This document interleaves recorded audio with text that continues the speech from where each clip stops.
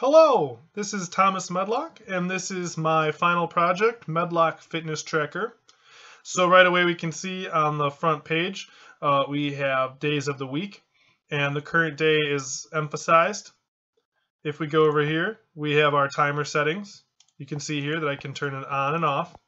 And then I also have the current time, what the timer is going to begin at. We can see that I can submit it. It'll say changes saved. And I can also try and put a ridiculous amount. But it'll tell me that it won't work. You can see here that this wasn't changed. So now if I go back, you can see that on Monday, the timer will be set to 60. D disregard this. This is all for uh, bug testing. If we go back here, set the timer, set it to 80, save it, you can see it's 80, go to here, it's at 80. If I click it, the timer will start counting down, you know. Um, so um, over here, if I go ahead and set this to five seconds, just for testing purposes, and then I go back over here to Monday, and then I, well, really quickly, I want to show you this functionality. The automatic timer, what that means is that if I enter a weight,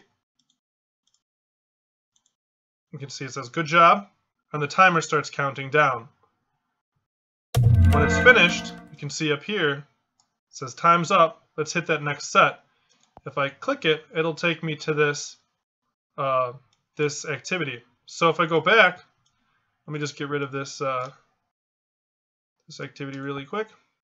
If I start this timer and I leave, after five seconds, it'll still make that notification up top. And when I click it, it'll still take me to that activity. So now over here, oh wait, let me quickly just show you. If I turn this off and save it, and then I go to here and I hit 5 just to show that this won't, here, let me hit 4 just to show that this won't update when it's a lower value. Notice how it didn't do anything because I turned auto off. Over here in timer, or in, in the weight page, you can see that it has the eight last weights. Uh, this was actually done um, with a spannable string. I was learning about spannable strings. But if you see here, I can upload my uh, my weight, and then um, you can see here that it starts to stagnate. Um, I'm going to fix this actually. So by the time that you get this, this will be wiped similar to how over here it wipes it when I put it in like that. It'll be wiped like that when I turn it in. And you can verify. I'll change that. Um, so basically we have this timer which is uses multi-threading. Uh, we have over here, if we click on this, you can see that the uh, actual um, this is to edit the workout. So over here, you, you know, I can do this, save it, and then it'll take us back here, and you can see that it says new. Um, I also have uh, restrictions over here for um, this. So if you see here, if you do this, and then you hit it and you hit cancel, it won't change that name. It'll keep it regular.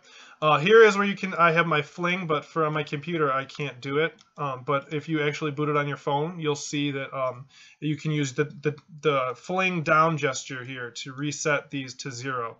Um, so um, that's basically how that works. If we go over here, this will also reset it too. So if I hit all of these and hit save, it resets all of these. Um, so there's one for each day of the week. We have our weights here. This drawable will change depending on, um, you know, the, the, the trend. Um, and then, uh, yeah, I just wanted to make a lot of toast so there would be a lot of feedback. So for instance, if we do like this, we try to save this, it'll tell us the workout title must be less than 25 characters and it'll reset it back to what it originally was. Uh, and if you notice all over, I have that too. So um, yeah, basically, uh, that is my project, and uh, thanks for watching. This is Tom Medlock.